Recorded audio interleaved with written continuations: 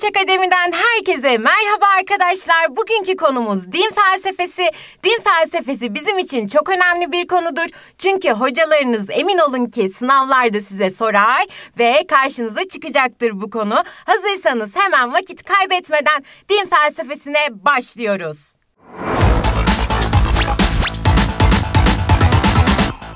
Hemen din felsefesinde neler göreceğiz bir bakalım. Neler işleyeceğiz? Bizim için neler önemli? Din felsefesinde hangi konulara değineceğiz? Din ve din felsefesi nedir diyeceğiz tabii ki de. Din felsefesinin tanımını yapacağız öncelikle. Sonrasında din ve felsefe arasındaki ilişkiye bakacağız. Bunların arasındaki ilişkiyi irdeleyeceğiz. Acaba aralarında bir benzerlik var mı? Farklılık var mı? Bunlara değineceğiz arkadaşlar. Sonrasında din felsefesi ve teoloji arasındaki farklara bakacağız. Hocam teoloji nedir diye emin olun ki soracaksınız. Sonrasında ben size bunu açıklayacağım. Sonrasında peki neyi göreceğiz? Din felsefesinin temel kavramlarına bakacağız, sorularına bakacağız ve problemlerine bakacağız. Acaba filozoflar din felsefesi hakkında neleri tartışıyorlar? Bunları hep beraber inceleyeceğiz arkadaşlar. Sonrasında en son olarak bizim filozoflarımız diyecek ki Tanrı'nın varlığına ilişkin biz farklı yaklaşımlar inceledik diyecekler. Diyecekler ki Tanrı'nın varlığını biz kabul ediyoruz ya da Tanrı'nın varlığını reddediyoruz ya da biz Tanrı'nın varlığını ya da yokluğunu bilemiyoruz diyecekler. Biz de bunları teker teker irdeleyeceğiz. Hemen bir bakalım din nedir? Bakalım din neymiş arkadaşlar? Din insan ve evren hakkında bilgi veren bir inanç sistemidir. Hemen bunu kocaman bir yıldızlayalım. Karşımıza inanç kavramı geldiğinde diyeceğiz ki bizim için din önemlidir diyeceğiz arkadaşlar. Peki sonraki maddemize bakalım. Din kutsallık taşıyan ibadet, değer ve inançların tümüdür arkadaşlar. Eğer hocalarınız din tanımını sorarsa buna böyle kocaman bir yıldız attım. Din kutsallık taşıyor, ibadet kavramı taşıyor, değer kavramı taşıyor ve inançların bütününü kapsıyor. Tanrı, evren, evrenin yaratılışı ve amacı tabii ki de kader, Tanrı-insan ilişkisi çerçevesinde ne yapıyor dün arkadaşlar? Evreni anlamlandırmaya da çalışıyor aslında. Peki hocam din felsefesi nedir diye soracaksınız. Neymiş din felsefesi? Din felsefesi dinin doğasını ve anlamını. Bakın hemen anlam çıktı. Neden? Çünkü felsefe neydi? Anlamı irdeliyordu. Temel dini kavram ve ilkeleri, inanç biçimlerini, dinin insan hayatındaki yerini, bakın bizim insan hayatındaki yerimizi sorgulamaya başlıyor din değil mi? Tanrı'nın varlığını ve niteliğini ne yapıyor arkadaşlar? Bütüncül bir şekilde inceliyor bakın parçalara ayırmıyor bilim gibi. Din olgusunu acaba hangi temelde alıyor din? Tabii ki de arkadaşlar rasyonel bir şekilde ele alıyor. Hocam rasyonel ne demek diye sorarsanız tabii ki de akılcı bir biçimde din felsefesi ne yapıyor? Ele alıyor ve inceliyor dini diyebiliriz. Hemen bakalım dinin konusu neymiş? Dinin konusu din kuralları ile insan yaşamını düzenliyor arkadaşlar. Dinin tabii ki de gündelik hayatımızda kuralları var değil mi? Ve bizim yaşamımızda düzenliyor. Buna hemen tikimizi atalım. Sonraki maddemize bakalım. Din imana dayanır ve ibadet olarak adlandırılan davranış biçimlerini ortaya koyar. Bakalım burada hangi kavram karşımıza çıktı? İbadet temel kavramlarda inceleyeceğiz. Sonraki maddeye bakalım. Dinin temel kabulleri ve ilkeleri zamanla değişmiyor arkadaşlar. Zamanla değişmediği için din nedir diye soracaksınız. Din tabii ki de mutlaktır.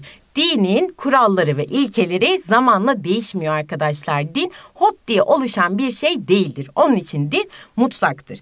Din nelerin yapılıp nelerin yapılamayacağı konusunda kurallara sahip olması yönüyle nedir? Bakın daha demin de burada ne demiştim?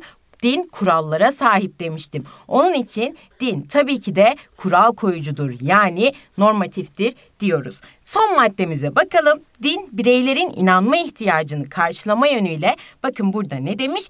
Bireylerin demiş bizim din inanma ihtiyacımızı karşılama yönüyle tabii ki de bireysel olarak karşımıza çıkacak. İnsanlar arasındaki ilişkileri düzenleme yönüyle bakın burada topluluk var değil mi? Ne olabilir mesela din? Toplumsal hayatta evlilik olabilir, zekat olabilir, miras bırakma olabilir. Bu yönde ne olacak arkadaşlar? Toplumsal yönüyle bize fayda sağlayacak, fayda da bulunacak diyebiliriz. Hemen geçelim sonraki slaytımıza. Din ve felsefenin benzerliklerine bakalım. Arkadaşlar şunu söylemek istiyorum. Tabi diyebilirsiniz ki hocam din ve felsefe nasıl birbirine benzeyebilir? Arkadaşlar benzer. Lütfen bu önyargıyı kıralım beraber ve bakalım. Felsefe ve din geçmişten bu yana ilişki içinde olan, bakın geçmişten bu yana ilişki içinde ve insanların ihtiyaçlarına cevap veren alanlardır. Din felsefesi ne yapıyor arkadaşlar? Dinlere karşı çıkış veya onlardan yana olma tavrı içermiyor aslında. Yani aslında din ve felsefe birbirleriyle ne yapıyorlar? Amaç bakımından bir benzerlik taşıyorlar. Peki bu benzerlik nedir? Her ikisi de varlık ve değer bakımından en temel olanı bulmaya çalışıyor. Evreni ve insanı ne yapıyorlar arkadaşlar? Anlamlandırma çabası içine giriyorlar. Eğer siz bir şeyi anlamlandırma çabası içine giriyorsanız bu da onu sorgulama çabası içinde olmak demektir diyebiliriz. Felsefenin dine yönelmesiyle onun bir alt dalı olan din felsefesi ortaya çıkmıştır. Bu din ve felsefenin ortak özelliklerini hocalarınız sınavda sorarsa diyeceksiniz ki din ve felsefe evreni anlamlandırmaya çalışır diyeceksiniz. Burada hemen püf noktamızı vermiş olalım. Hemen bakalım sonraki slaytımıza. Dine felsefi açıdan bir bakalım. Burada da büyük ihtimal farklılıklar karşımıza çıkacak. Dinin felsefi temellendirmesinde dinin temel iddiaları hakkında rasyonel yani akılcı. Ne yapıyor arkadaşlar? Felsefe dine akılcı olarak bakıyor. Objektif bakıyor, kapsamlı bakıyor ve tutarlı bir tarzda düşünülmesi gerektiğini savunuyor felsefe. Felsefe dinin temel iddialarını açıklamaya çalışırken tek taraflı yaklaşım sergilemiyor asla. Karşıt görüşlere de yer veriyor. Aslında burada dediğim gibi bir farklılık var. Çünkü tek taraflı bakarsa felsefe aslında felsefe olmaz. Felsefenin dine bakışı ne olmalıdır arkadaşlar? Tabii ki de tutarlı olmalıdır. Eğer tutarsız olursa ben sadece bunu savunuyorum, ben sadece bunu savunuyorum olursa olmaz. Yani aslında içerisinde çelişki barındırırsa bu felsefeden çıkar. Felsefe dini temellendirirken nesnel yani aslında objektif bir tavır sergilemektedir. Yani ne oluyor? Öznel bir tavır sergilemeyecek felsefe burada. Yani ne olacak? Tarafsız bir tavır sergilemiş olacak diyelim ve hemen geçelim. Geldik aslında bizim için en en önemli konulardan birine. Demiştik en başta teoloji. Hocam teoloji nedir diye soracaksınız arkadaşlar. Teoloji tabii ki de ilahiyattır. İlahiyat nedir? Tabii ki de tanrı bilimi olarak karşımıza çıkacak. Peki hocam teoloji ve din felsefesi arasındaki farklar nedir? Hemen bir inceleyelim. Birinci maddede ne demişiz? Teoloji ne yapıyormuş? Belli bir dini ele alıyormuş arkadaşlar. Yani her dinin kendine özgü teorisi varmış.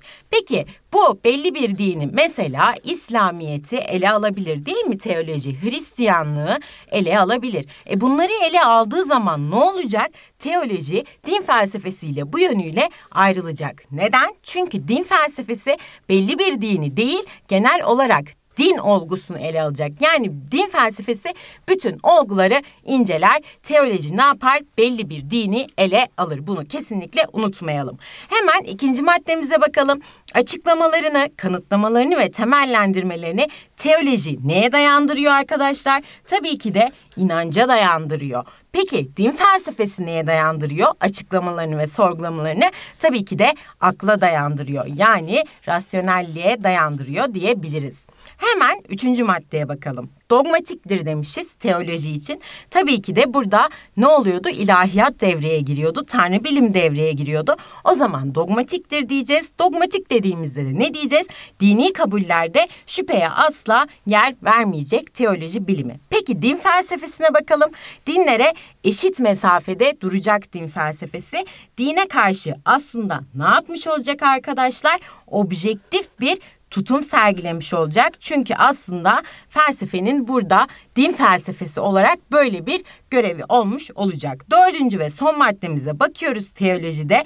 Ele alınan din diğer dinlerden üstün tutulacak. Neden? Mesela ben teoloji olarak, ilahiyat bilimi olarak İslamiyet'i savunuyorum. Hristiyanlıktan üstün tutacağım. Çünkü kendi savunduğum din aslında diğer dinlerden üstün olmak zorundadır diyeceğiz arkadaşlar. Hemen geçiyorum sonraki kavramlarıma. Din felsefesinin temel kavramları. Bakalım din felsefesinde hangi kavramlar karşımıza çıkacak? İlk baloncuğumuza bakalım. Kutsal ve yüce kabul edilen, ezeli ve ebedi, evrendeki her şeyi ve evreni yaratan güç. Nedir hocam diye sorduğunuzu duyar gibiyim. Tabii ki de arkadaşlar Tanrı olarak karşımıza çıkacak ilk boşluğumuz. Hemen ikinci boşluğumuza bakalım, diğer kavramımıza bakalım. Yaratıcının bir ve tek olduğuna inanmak. Acaba hangi kavrama denk geliyor? Tabii ki de arkadaşlar tevhid kavramına denk geliyor. Bunu bir diğer anlamıyla tevhid inancı olarak da adlandırabilirsiniz diyebilirim. Hemen üçüncü boşluğumuza bakalım. Yaratıcının insanlara dini bilgileri aktarmak için seçtiği özel nitelikteki insanlar kimdir arkadaşlar bunlar? Dini bilgilerimizden düşündüğümüz zaman tabii ki de peygamberler olarak karşımıza çıkacak bu kişiler. Hemen dördüncü balonumuza bakalım. Yaratıcının peygamberler aracılığıyla insanlara ilettiği emir ve yasaklar. Nedir hocam bu? Tabii ki de arkadaşlar vahiy olarak karşımıza çıkacak. Sonraki kavramımıza bakıyoruz. Yaratılış yani yaratılıştan gelen özellikler nedir bu? Tabii ki de fıtrattır. Bizim yaratılışımızdan gelen özelliklerimiz hani deriz ya fıtratında var. Bu işte bizim yaratılıştan gelen özelliğimizdir. Sonraki kavramımıza bakıyoruz. Bir şeyi kuşku duymadan benimseme, dinin temel doğrularını kabul etme ve inanma. Biz ne yapıyoruz?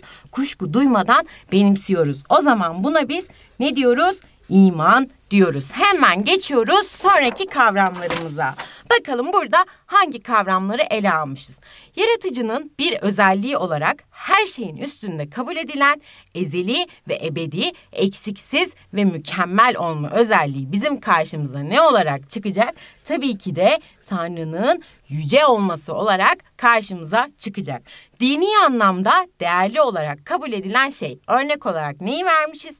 Kur'an-ı Kerim'i vermişiz, camileri vermişiz. Tabii ki bizim için bunlar nedir? Mesela Kur'an-ı Kerim bizim için kutsal kitaptır. Yaratıcının buyruklarını yerine getirmek inancın gerektirdiği söz, düşünce ve davranışlar bütünü. Biz ne yapıyoruz arkadaşlar? Yaratıcının buyruklarını yerine getiriyoruz. Ondan sonra bunları sözle, düşünceyle ve davranışlarımızla yansıtıyoruz. O zaman biz ne yapmış oluyoruz? İbadette bulunmuş oluyoruz. Hemen diğer kavramımıza bakalım. Bir düşünceye içten, gönülden bağlı bulunma, onu güvenle doğru sayma, inanma durumu. Burada anahtar kelimemiz tabii ki de inanma durumu olarak karşımıza çıkacak ve bunu inanç olarak tanımlayacağız. Sonraki baloncuğumuza bakıyoruz. Akılla açıklanması mümkün olmayan, yaratıcının iradesi olan olağanüstü olay yani doğaüstü olay olarak da tanımlanabilir. Tabii ki de mucize. Hemen son boşluğumuza bakıyoruz. Dini anlamda manevi haz içinde olmak bizim karşımıza ne olarak çıkacak? Tabii ki de dini tecrübe olarak çıkacak diyebiliriz arkadaşlar. Geldik din felsefesinin temel sorularına. Bakalım filozoflarımız neleri sormuşlar, hangi soruları irdelemişler. Hemen bakalım. Tanrı var mıdır demişler. Buna kocaman bir yıldız atıyorum. Çünkü din felsefesinin temel sorusu aslında Tanrı var mıdır sorusudur. Sonrasında Tanrı'nın varlığının kanıtları nelerdir diye sormuşlar. Buna çok farklı aslında kanıtlar oluşmuştur. Teistler farklı kanıtlar sunmuştur. Ateistler farklı kanıtlar sunmuştur. Teist, ateist nedir bunların hepsini birazdan açıklayacağız.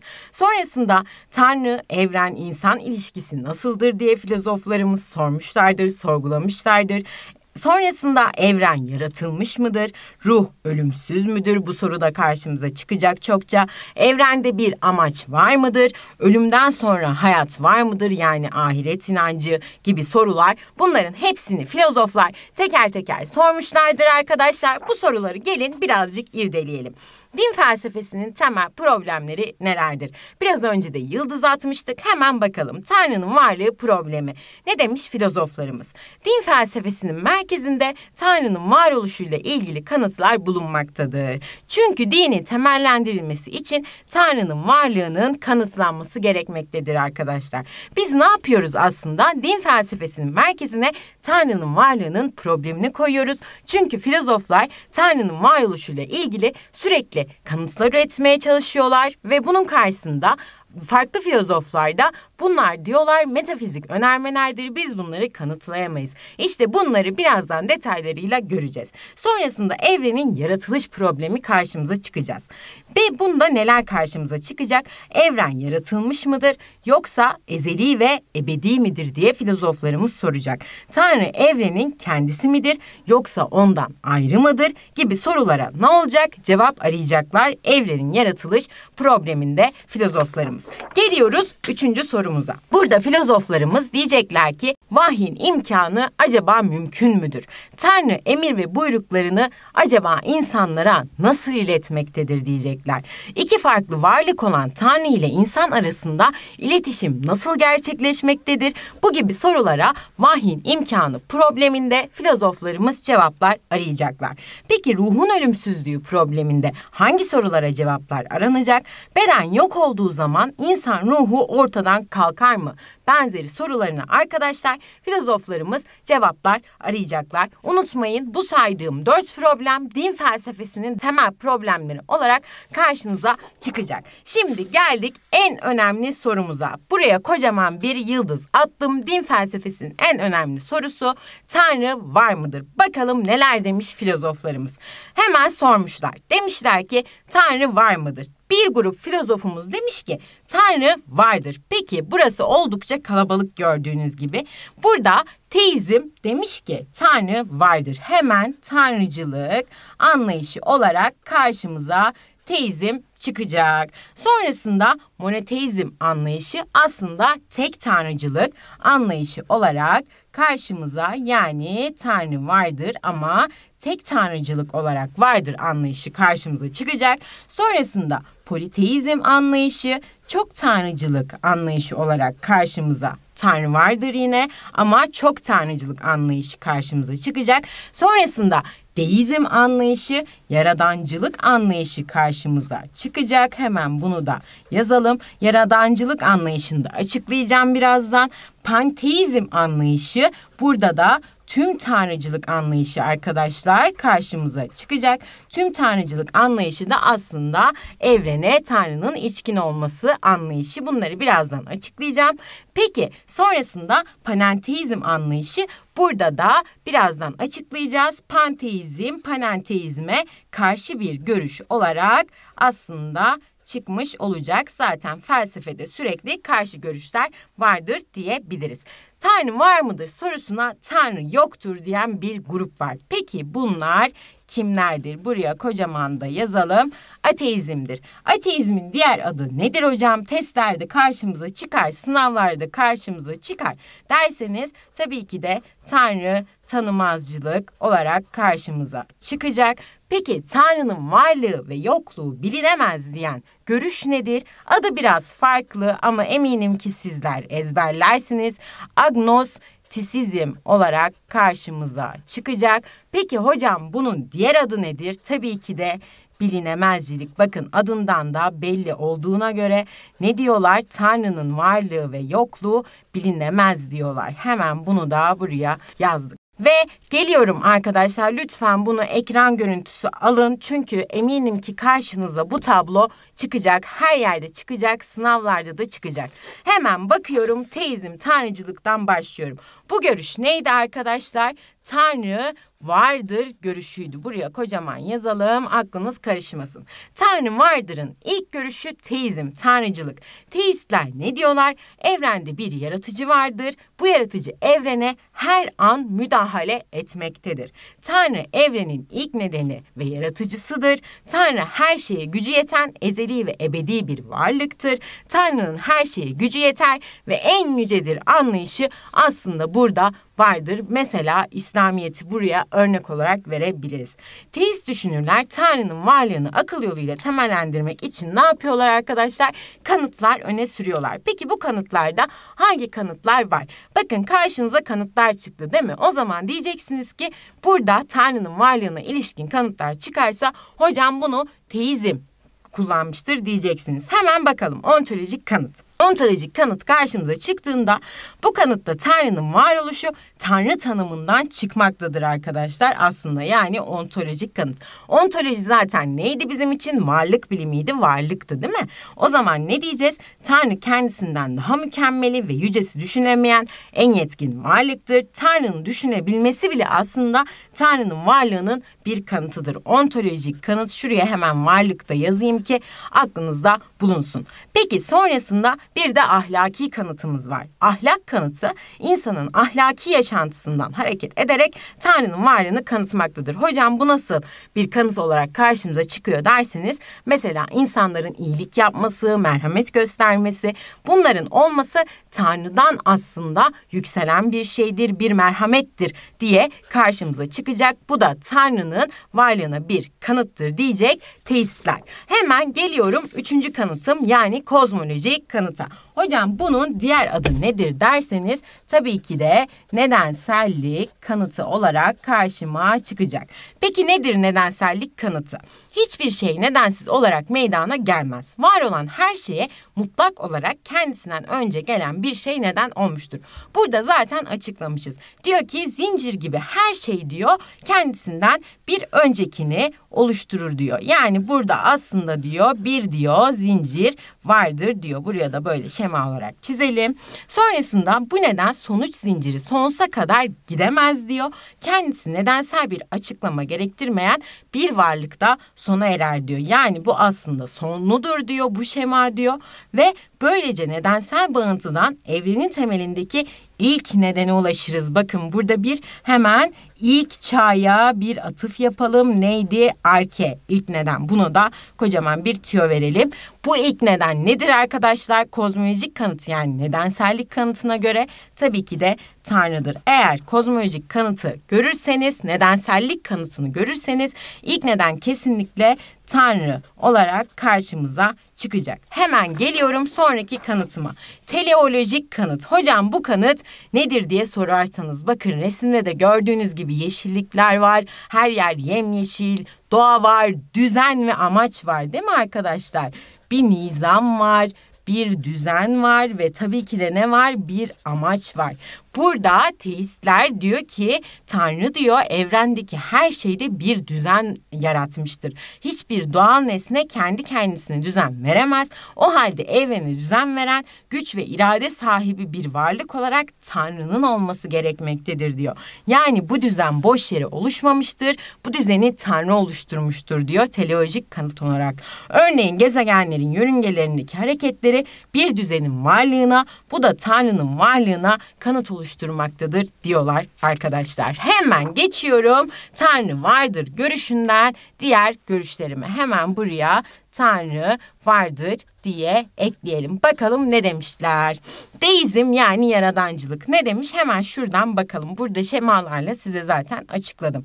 Bakın Tanrı ve evren arasında bir ayrım görüyorsunuz değil mi? Peki deistler nasıl açıklamış? Evrende bir yaratıcı var tamam mı? Fakat bu yaratıcı evreni yarattıktan sonra ona bir daha asla müdahale etmiyor. Siz bunu gördüğünüz zaman diyeceksiniz ki bu deizmdir. Çünkü deistlere göre evren kendi başına işleyen bir makine gibidir. Tanrı evreni yaratmıştır arkadaşlar gördüğünüz gibi ama sonrasında ona hiçbir müdahalede bulunmamıştır. Deistler peygamberlere, vahiylere inanmazlar, kutsal kitaplara inanmazlar. Sadece Tanrı'ya inanırlar ama Tanrı'nın da evreni yarattıktan sonra hiçbir olaya müdahale ettiğine gördüğünüz gibi inanırlar diyoruz ve geçiyorum panteizm anlayışımı. Hemen Tanrı eşittir ne demişiz? Evren demişiz panteizm yani tüm tanrıcılık anlayışımda. Evren ve Tanrı bir ve aynı şeydir. Gördünüz mü Tanrı ve evreni? Hemen diyeceksiniz ki bu panteizm anlayışı. Tanrı evrene içkindir. Panteistlere göre doğayı, evreni bilmek aslında Tanrı'yı bilmektir. Panteizm dediğimizde anahtar kelimelerimiz neymiş? Evren ve Tanrı'ymış. Tanrı eşittir evren ve doğayı ve evreni bilmekmiş arkadaşlar. Hemen geçiyorum panenteizm yani diyalektik teizm anlayışıma. Tanrı, evren ne oluyor? Burada bu görüş iki görüş birbirine aslında zıt olarak meydana çıkıyor.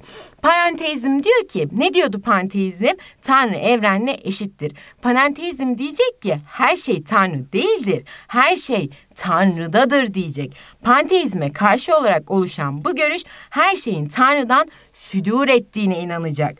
Fakat Tanrı evrenin içinde değildir. Tanrı evreni içkin değildir. Yani her şey Tanrı değildir ama her şey Tanrı'dadır görüşünü görürseniz direkt diyeceksiniz ki panenteizm diyeceksiniz. Geldik Tanrı vardır görüşlerinden son iki görüşe hemen buraya da yazalım Tanrı vardır diye ve ne diyecekler monoteizm anlayışında yani tek tanrıcılık anlayışında burada adından da anlayacağınız üzere monoteizm. Zaten mono nedir arkadaşlar? Tektir.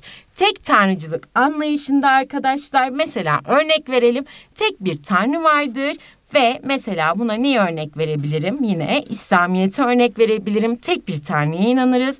Hristiyanlığı örnek verebilirim. Tek bir Tanrı'ya inandığınız zaman siz monoteist bir anlayışa da inanmış oluyorsunuz. Peki hocam politeizm yani çok tanrıcılık nedir? Fotoğrafta da gördüğünüz gibi birden çok tanrı var. Peki bu size niye hatırlatacak arkadaşlar? Bakın birden çok size örnek verebilirim. Eski Yunan tanrıları olabilir bu. Başka ne olabilir? Hinduizm anlayışı olabilir değil mi? Sonrasında Mısır tanrıları olabilir, Roma tanrıları olabilir. Bunların hepsi birden çok tanrıya inanan dinlerdir ve aslında bunu da felsefede, din felsefesinde ne olarak adlandırırız? Politeizm anlayışı olarak adlandırırız ve geldik Tanrı'nın varlığını reddeden grubumuz ve son konumuza.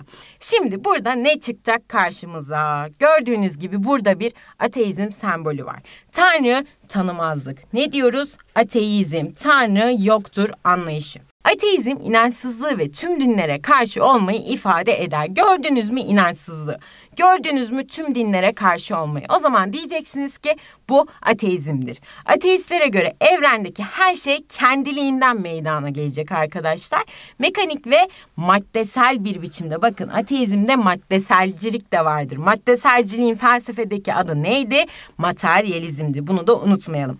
Ve tesadüfen gerçekleşecek. Yani bir tanrı yok, her şey maddesel ve tesadüfen gerçekleşiyor ateizme göre ruhun ölümsüz olduğuna, ölümden sonra da bir hayatın varlığına ve metafizik unsurlara asla ateistler inanmıyorlar. Bunlara inanmadıkları için de ne oluyorlar zaten Tanrı'yı asla tanımıyorlar ve Tanrı'nın varlığını ateistler reddetmiş oluyorlar. Geldik Tanrı'nın varlığı ya da yokluğu bilinemez diyen görüşe. Bilinemezcilik neydi diğer adı? Daha demin size hemen göstermiştim. Agnostisizmdi. Hemen bunu da yazdık. Yani bilinemezcilik. Agnostisizm sembolü de budur arkadaşlar. Ne diyor agnostisizm bakalım. Neyi bilemiyoruz? Tanrı'ya ilişkin bir bilgiye sahip olunamayacağını, Tanrı'nın var olduğunun ya da var olmadığının ilki olarak bilinemeyeceğini savunuyorlar. Peki neden bunu savunuyorlar? Tanrı'nın varlığı ya da yokluğu diyecekler bizim için kuşkuludur diyecekler. Temelinde Tanrı fikrini zihinle kavramanın mümkün olmadığı düşüncesi vardır. Acaba neden varmış? Bunu hemen gelin hep birlikte bir bakalım açalım. Burada zaten Protagoras bize anlatacak bunu. Hemen burada ateizme bir kanıtlarına da bir bakalım. Bunu arkadaşlar ek bilgi olarak da görebilirsiniz. Çünkü sorularda karşınıza çıkabilir. Özellikle test sorularınızda. Diyecek ki ateizm, Tanrı'nın varlığını reddeden yaklaşımlar yani ateizm diyecek ki ben de delil ileri sürüyorum. Teistler hani sunuyordu ya öyle kozmolojik kanıt, nizam kanıtı gibi kanıtlar, ahlak kanıtı, ontolojik kanıtı. Hani Tanrı'nın varlığını kanıtlıyorlardı ya. Ateistler de diyecek ki o zaman ben de kanıt sunuyorum. Tanrı'nın yokluğunu gösteren üç kanıtım var benim diyecekler. Kötülük kanıtı, ahlak kanıtı ve anlamsızlık kanıtı olarak üç kanıt sunacaklar. Hocam bunlar ne peki diyeceksiniz. Hemen kısaca açıklayacağım size. Kötülük kanıtında şöyle bir şey var arkadaşlar. Evrendeki kötülükler kusurlar, yeter, yetersizlikler bunların hepsine Tanrı aslında müdahale edemiyor. Müdahale edemediği için de Tanrı yoktur diyecekler. Ben de Tanrı'nın yokluğunu böyle kanıtlıyorum diyecekler. Peki ahlak kanıtında ne diyecekler? İnsanın önceden belirlenmiş davranışları aslında olamaz diyecekler. Çünkü aslında insan hür olmak zorundadır. Ahlakta yoktur diyecekler. O yüzden Tanrı da yoktur diyecekler. Peki anlamsızlık kanıtında neyi savunacaklar? Burada Tanrı'nın varlığı ile ilgili tüm kanıtları reddedecekler. Bunların hepsi diyecekler metafizik yani sözlü önermelerdir. Onun için biz Tanrı'yı yok olarak kabul ediyoruz diyecekler. Ve geliyorum agnostizm, bilinemezcilikle ilgili bakalım Protagoras ne demiş? Protagoras kimdi arkadaşlar? Hemen bir hatırlayın bakalım. Bilgi felsefesinden, sofistlerdendi ve ne diyordu arkadaşlar? Bilginin varlığını biz aslında bilemeyiz diyordu. Peki burada ne demiş? Burada da bilinemezcilik tarafında tanrılarla ilgili olarak onların ne var olduklarını ne de var olmadıklarını bilebilirim demiş. Çünkü bu konuda bilgi için konunun karanlıklığı ve insan yaşamının kısalığı gibi birçok engel vardır. Yani ben Tanrı'nın varlığı ya da yokluğuyla ilgili bir fikir üretemem diyor Protagoras bizim için. Yani diyor ki bu konuda ben kararsızım diyor. Ve geldik konu biterken bakalım biz hangi konuları öğrendik? Hemen bakalım.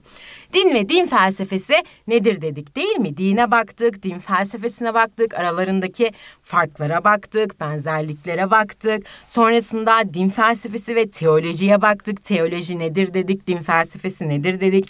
Din felsefesinin temel kavramlarını inceledik, sorularına baktık, problemlerine baktık. Sonra Tanrı'nın varlığına ilişkin farklı yaklaşımları teker teker inceledik. Varlığını kabul edenleri inceledik, reddedenleri inceledik.